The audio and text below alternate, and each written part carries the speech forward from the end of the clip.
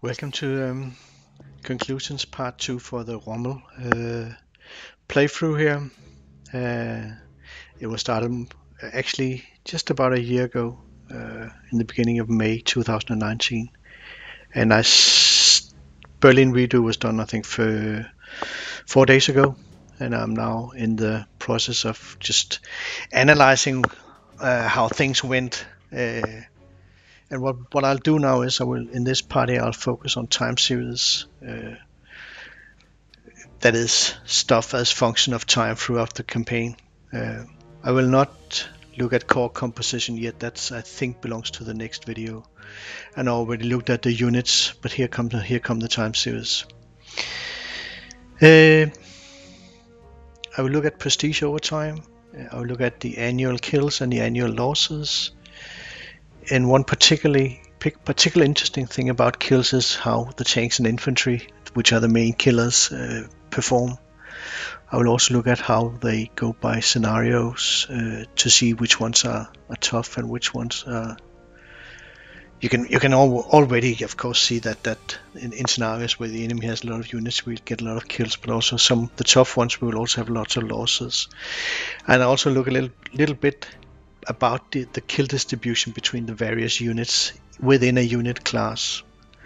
That is, we take, for example, infantry, and then we say how did the various units actually perform.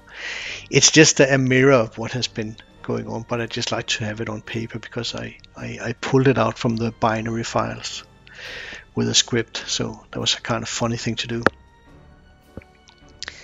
First of all, the prestige over time map that uh, you've seen before, but I it's now uh, finalized over over time, and I also added the soft cap. That's the gray curve here, just to to illustrate what actually went on throughout the process, and and it it uh, I followed the principle that I that I laid out in the beginning, but it just turned out that. Uh, Rommel wasn't difficult. Was Rommel simply wasn't difficult enough, so I ended up with a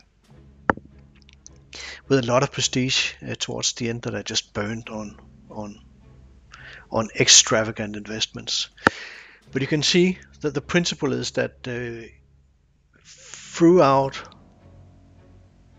almost until the end of until the end of 42 you can see when we reach uh, Tachinskaya we are down to we are getting close to 90% on the soft cap.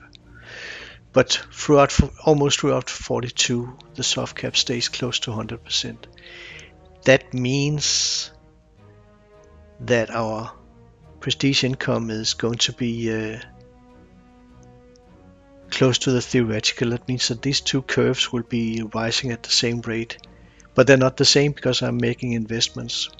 But also in this period, the combat losses are very, very low.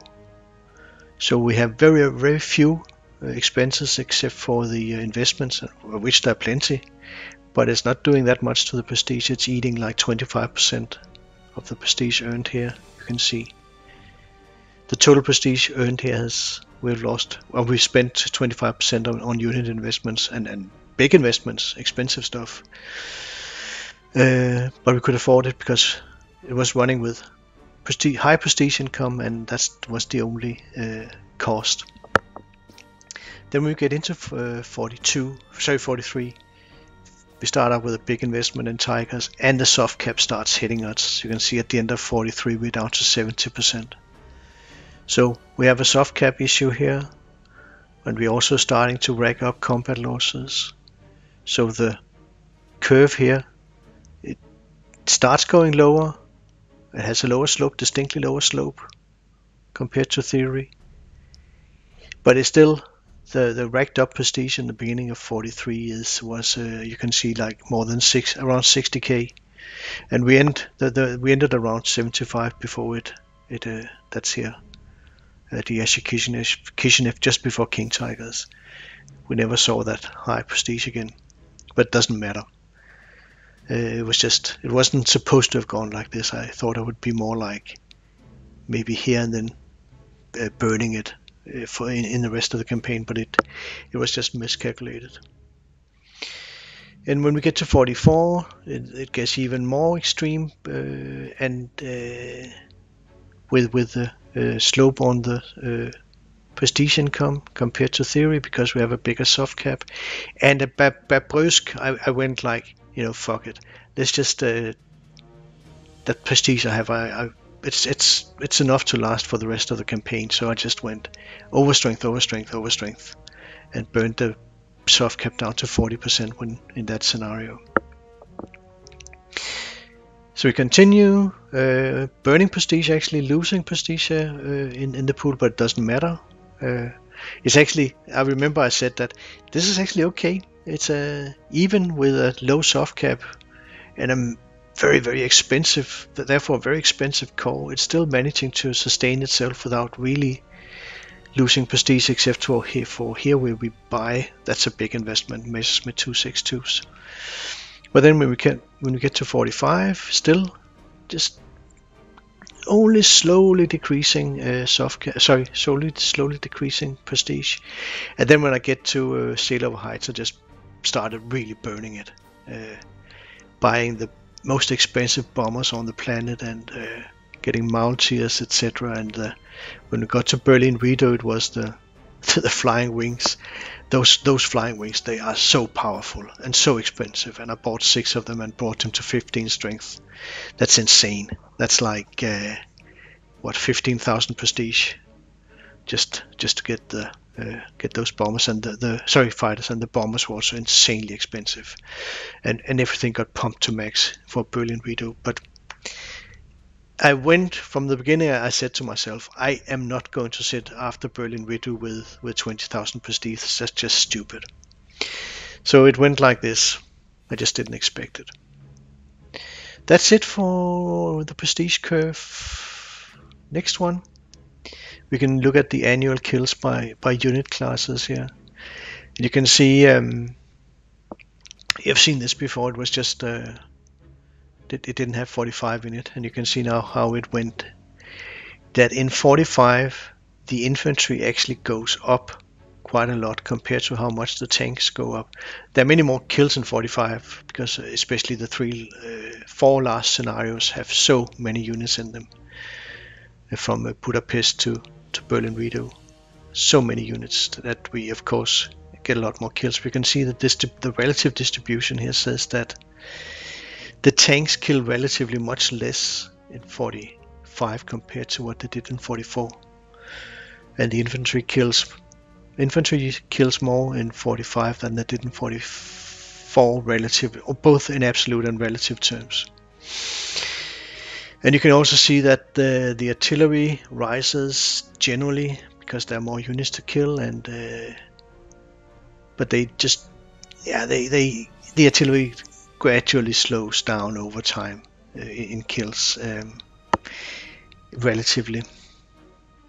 Um, so the infantry and tank, I guess, tanks, I guess, kill more. What else to say? Um, anti-tank guns performed relatively in, in 45 the same. Around 5% of the total kills were by, by the anti-tank guns. In 45 it was like what 16 17% of the kills were by artillery. That's a lot when you think about it. They're completely free kills. They're there without risk. One thing that also happened in 45 was that the anti-aircraft uh, started becoming less important. The fighters simply took more of the kills, as you can also see from especially this graph here. I think this is also from uh, from Berlin Rideau with the flying wings going crazy remember in Berlin Rideau the the fighters were essentially like tech bombers, uh, firefighter bombers. Took a lot of uh, took a big toll on, especially the Katyushas. So the AA ended up becoming less important, and I also think that Richard Martin has suggested that the right number of AA units is probably four, and I think I will agree with that. The tech bombers went berserk in uh, 45 as well compared to 44. They actually had a rebound also in, in relative kills. Although you can see in 44 they were distinctly lower and it had to do with the way the 44 battles were fought. They were very much tank battles in 44. There were much more infantry battles in 45. Or more infantry. The, the infantry definitely definitely went up in 45, and the level bombers, yeah, uh, it's it's just I don't like the way they they measure them because they shouldn't be measured in kills. They should be measured in suppression. That's what they're, they're supposed to be doing. Let's continue to the next one here. The annual losses. Well, this one has been seen before, but not 45. And you can see that uh, the, the casualties uh, are generally on infantry tank and tanks, and the scouts, of course, as well. Take some losses, especially 43. I remember I was pretty reckless with the scouts. Not not suicidal, but never worrying about taking losses on them. Also, the, the this was these were StuGs in 44, 43. They also took a lot of casualties, and you can see in 45 they also took a lot. The, the, those were Jagdpanthers. They took actually as many losses as the tanks. But I played them like that because they were cheaper than the tanks. So they would often have to take losses in, in, in cases where I just had to, to, to conduct an attack. In uh, 45 artillery losses, very few of course as always. Very few on the anti-air. Fighters took generally casualties throughout the whole battle but not many. And attack bombers almost none and level bombers absolutely none at all. And you can see that it uh, went like this in total number of losses. We had like 210 and 45. So it just went up gradually. But with 40 as a little bit of an outlier and 41 very, very few losses. A lot of this has to do with the play, play style in 41, which was uh, suppress and kill. Take very few risks with uh, when, when, when attacking. I could not do that in 40 as far as I can recall. Another thing you can see as an interesting curve is to look at the way the accumulated kills go for tanks and infantry. You can see in total they both killed above, uh, they both had oh, more than 20,000 kills. That is in, in, in, in kill points. The infantry around 20,000 and the tanks around 22,000. But early on, you can see the infantry is actually higher. Up until somewhere around Minsk 44, the when in Minsk, Minsk 44 they actually meet each other and then the tanks take over. So you can say from 44 from Minsk 44 that's the last no it's not. That's the worst Kiev uh, from Minsk 44 and onwards it's more tank it's more of a tank action. It's more tank action uh, although Bird, yeah, 45 is, is, more infantry also but until we reach that it really is the infantry that uh, especially here in the early, maybe until uh, as the, the Stalingrad Grad battles are, are, distinct infantry battles, of course. But you can see the uh, infantry is higher here, but then it starts. There's tanks from from Tachinskaya and forward to Minsk. They start increasing significantly in, in the slope here, but they end up with the same slope towards the end. But at at the end, they actually ended up with, with a fair with, with fairly the same amount of kills. But early on, it's the infantry that dominates. We also know that we we that that that's the way it's played, especially in 39. The tanks hardly do anything. That's one tank catcher. Let's also have a look at how many kills we have by scenario. And you can see here of course, this is just another way of saying how many units did the enemy have on the map, and you can see it rises dramatically in the last four battles because there are just so many units on them. But you can also see some local peaks here, Prokhorovka, uh, return to Kishinev, that's also a massive battle. Vilna as well. What else? Stalingrad and Stalingrad docks, also lots of enemy units. What else? Kharkov, so, sorry, Moscow is the first one in the early campaign with a lot of kills on them in, in it. Arar, Albert Canal also. So that's just these are just pulled pull from the from the binary files. It's just a fun thing to do. You can also see our losses. That's perhaps more interesting. You can see here, for example, we had a lot of casualties at the Ram uh, battle. I don't remember why. Uh, it's 20 points, that's quite a lot. Considering that it's not a very big battle compared to some of the later ones where we don't even took 20 points. Maubeuge is also, I think that's the SE infantry that, that got really clobbered here. Uh, Warsaw, 10 points. Danzig, yeah, these of course the early ones we don't care about at all because it's uh, they're free. You, you don't use elite replacements there. Another one we can see sticking out, Tachinskaya was an expensive one. These uh, th this goes, you can say it, it, it, it's another way of showing the difficulty level. Tachinskaya is a distinctly difficult battle. Prokhorovka is also nasty. Kremenchuk is not very nasty, but uh, we had a lot of losses in that. I wonder why. Budapest 44 is also yeah that's that's a winter battle in Budapest that's also an ugly one. Return to Kishinev is also a distinctly difficult battle. While you can see for example Poltava Pelilinkin even is not that hard. That's a surprise because that's actually a difficult battle. And then we should also be able to tell that in 41 from Belgrade to Demyansk we had we must have had very low casualties because that's also what the numbers said. But 40 is distinctly higher than 41, and 39 of course is uh, is higher than, than than what you would would may, maybe think because I'm not really caring that much about it. But you can see 40 is distinctly higher than 41, and then it just we have some local peaks where we can see the difficult battles. Let's also take a look at how the kills distributed on the infantry. Here with, um, I, I, only use the names. I only call these uh, six ones infantry. One, two, three, four, five, six, but I know which ones are. At least some of them are. This one is a paratrooper. And you can see he was the one to earn a uh, plus three attack hero so he does quite well in 39 together with this is. And in 40, him and Ole are dominating the, the, the kills. In 41, he starts not doing so much. Ole Deer is dominating in 41 together with Wirnsberger. 42, it's Ole Deer and Wirnsberger. And we start seeing Friedrich Pein kick in here. 43, we are getting Allerberger and Sutkus are kicking in here.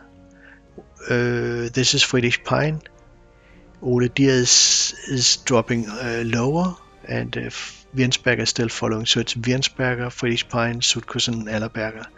And then the other ones are just, uh, they're more, uh, they, they are perhaps not a, a little bit more anonymous than, than, than the hero infantry. Then we get to 44, and we have this guy. I, I I don't know which one, one of them it is, but it's probably it's probably my defense plus three that I started playing a lot. We have hits now coming in and going absolutely nuts with Friedrich Pein to get him that uh, uh, to get him his uh, third hero. And Sutkus and Allerberger are, are playing along well here. In 45, it's mainly it's actually his Hetzenauer who's the biggest killer. Sutkus and Allerberger and Friedrich Pein. And Ole is actually more of a he doesn't kill that much in 45 compared to those guys just uh, just in, interesting numbers to interesting numbers to look at. It's just a mirror of what, what was played, but it's fun to look at it afterwards in curves. For the tanks, this is Kasha. He's the only one in 39, and he completely dominates in 40. We start seeing the first SE tank come in here with, with some good skill, but nothing nothing but compared to uh, Kasha. In 41 it's also Kasha, but SE tanks start coming into play and Rondorf also joins us in 41. 42, still Kasha. Rondorf and the SC tanks are, are doing solid. Kasha still dominates in 43. Rondorf and the SC tanks. What I want to show is that Cash actually drops over time. 44, I think he took a. He wasn't in many of the battles. Also in 45, but he he um, he also became less of a killer and more of a, just a commander of the corps. That's the way I like to have him. So the other ones were, when we get to 45, it's of course Leechke, and then the SE tankers. Tanks are pulling the load here. Both Rondorf and Cash and Rondorf are more leaders of, of their uh, battle groups.